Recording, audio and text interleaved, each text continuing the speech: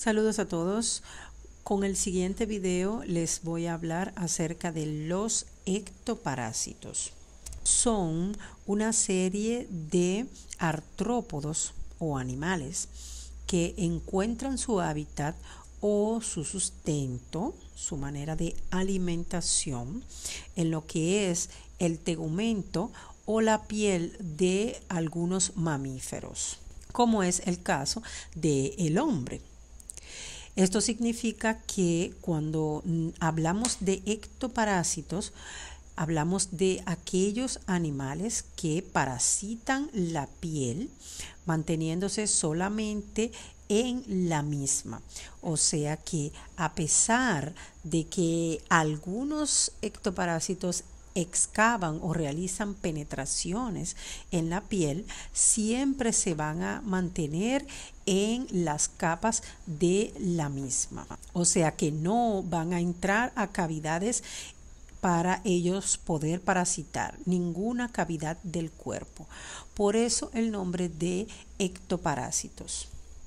Aunque el término de ectoparásito puede incluir algunos artrópodos chupadores de sangre, de manera temporal, como lo es el caso de los mosquitos, este término generalmente se va a utilizar de una manera más estricta para referirse a lo que son patógenos tales como las garrapatas, las pulgas, los piojos las moscas parasitarias y los ácaros, que se pegan o se adhieren en la piel y permanecen allí durante largos periodos de tiempo. Existe una familia de enfermedades que es de gran importancia para lo que es la salud pública, denominadas las enfermedades parasitarias epidérmicas.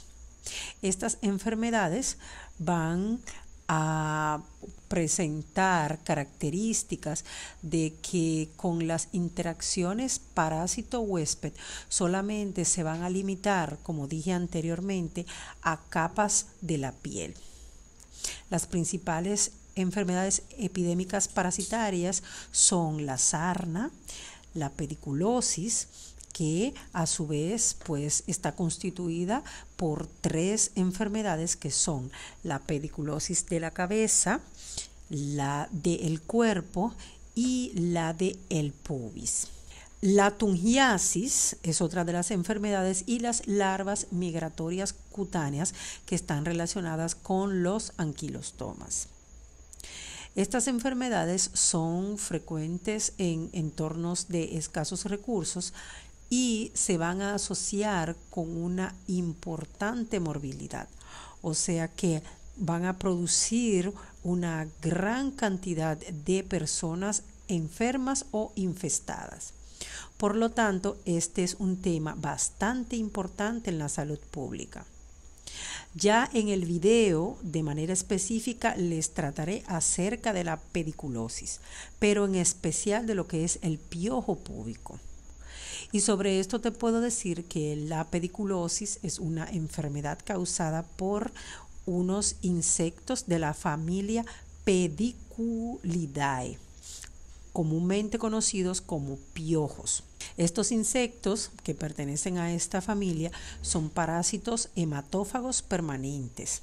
Significa esto que comen sangre de manera permanente y que van a afectar exclusivamente a los mamíferos, en este caso al hombre. Existen dos géneros de piojos que infectan al hombre o al ser humano, que son el pediculus y el tirus. Cada uno con una sola especie propia del hombre que es la pediculus humanus o la tirus pubis. El tirus pubis o ladilla, que es nuestro tema central, se localiza clásicamente en lo que es la región púbica. O sea que va a estar en la región del pubis donde están los vellos, o sea, la región genital, la parte pilosa. Y generalmente, pues, este se va a ver en personas adultas.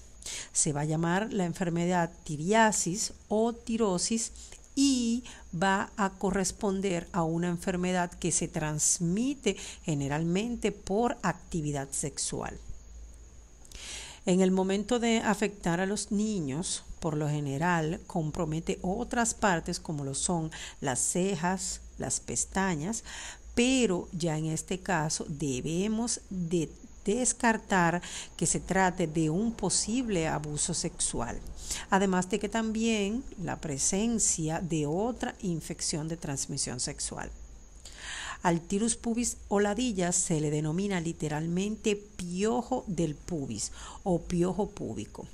Y a diferencia del piojo de la cabeza, es lento, moviéndose y avanzando aproximadamente cada día solo 1 a 10 centímetros. Además de la región púbica, como dije anteriormente, en el adulto también eh, la ladilla se sitúa en el cabello, en las cejas, en las pestañas y en el vello axilar y corporal, tanto del pecho, las piernas y los brazos. Sus huevos se pueden ver en forma de pequeños puntos blancos adheridos o pegados al vello cerca de la piel. Su periodo de incubación es de 6 a 8 días. Posteriormente, claro, de el contacto directo con el infestado. Se estima que existe más de un millón de casos de pediculosis púbica cada año. Las personas con actividad sexual o que realizan sexo con diferentes personas tienen un riesgo mucho más alto de contraer lo que son los piojos púbicos. Las ladillas se alimentan de sangre y lo hacen por lo menos 50 veces al día, lo que va a ocasionar prurito, que es lo que conocemos con el nombre de picor. Y este picor es bastante molesto e intenso y que va a ocasionar que la persona infestada se rasque frecuentemente a la persona continuar rascándose de manera indiscriminada, se pueden presentar lo que son infecciones e irritaciones en la piel, que puede llevarlo a complicaciones más graves. Para alimentarse, eh, la ladilla perfora la piel con su aparato bucal retráctil, echa o infunde lo que es la saliva dentro de la piel, y con sus estiletes llega hasta lo que son los vasos capilares. La mayoría de las manifestaciones clínicas relacionadas con el picor son consecuencia de la sensibilización alérgica que produce la saliva inoculada por este parásito al picar. O sea que una vez que el parásito pica, produce sensibilidad y le va a inducir a la persona a rascarse en todo momento del parásito, chupar o comer la sangre de la persona infestada. En la ropa interior pueden aparecer también una serie de manchas de color marrón o de color rojizo debido a las pequeñas gotitas de sangre de las picaduras que se escapan en el momento del parásito alimentarse.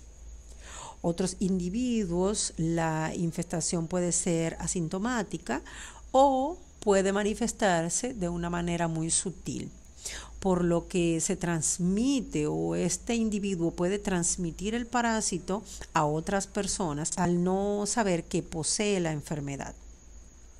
Cada cinco días aproximadamente, la hembra va a poner entre 10 y 15 huevos blancos, que son los llamados liendres. Estas liendres van a tardar una semana en incubarse. El personal de salud, o sea, el médico, para poder tratar esta infestación de estos parásitos llamados ladillas, tiene en sus manos el juego de sustancias tales como cremas, champús y algunas lociones que van a contener gamma hexaclorociclohexano, conocido comúnmente como permetrina que son eficaces, pero eh, sobre todo cuando se utilizan de una manera correcta. Si las lociones, los champús o las soluciones no ejercen el efecto, estas que tienen 1% de permetrina o piretrina, entonces ya eh, tu médico, el personal de salud, te puede recetar otros medicamentos que son mucho más fuertes en contra de estos parásitos, como es el caso de las tabletas o pastillas de ivermectina o a base de ivermectina, que es un medicamento tomado a dosis única, en estos casos dos tabletas vía oral con la opción de tomar las tabletas a los 10 días si el tratamiento inicial no surtió efecto.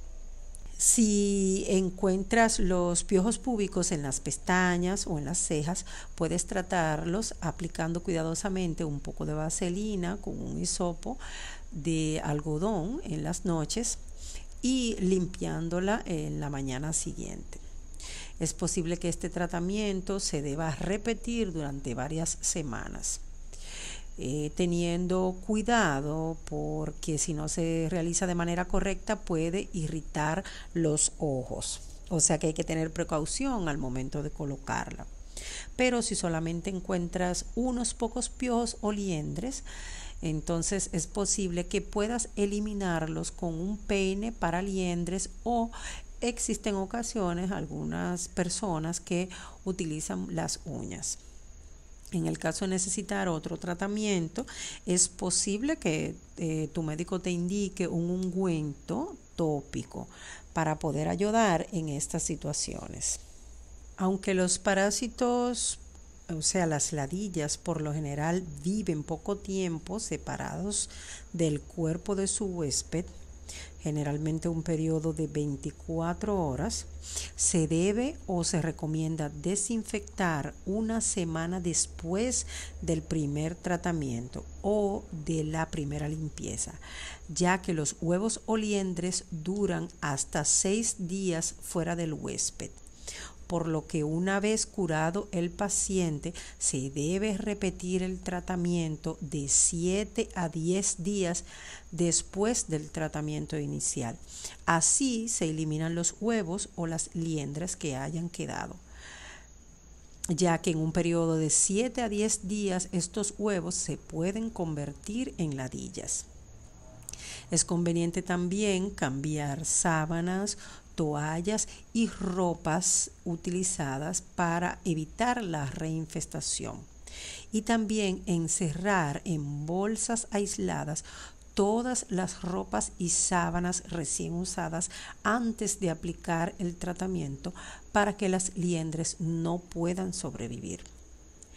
A las personas que son diagnosticadas con ladilla se recomienda comentar sobre su infestación a sus parejas sexuales para así reducir la propagación de estos parásitos, frenando la epidemia de esta forma.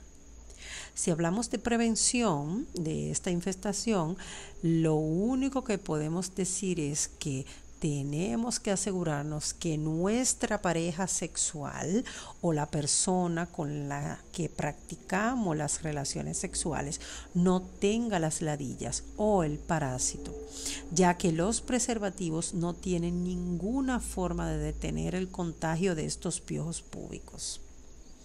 También cabe destacar que aunque el parásito no es capaz de vivir mucho tiempo sin contacto con el cuerpo humano, es conveniente no utilizar ropas o sábanas de otras personas. Muchas gracias por seguir el video, llegar hasta este momento. Los demás temas hablaremos acerca de los demás ectoparásitos que pueden infestar también al hombre, además de las ladillas. Muchas gracias.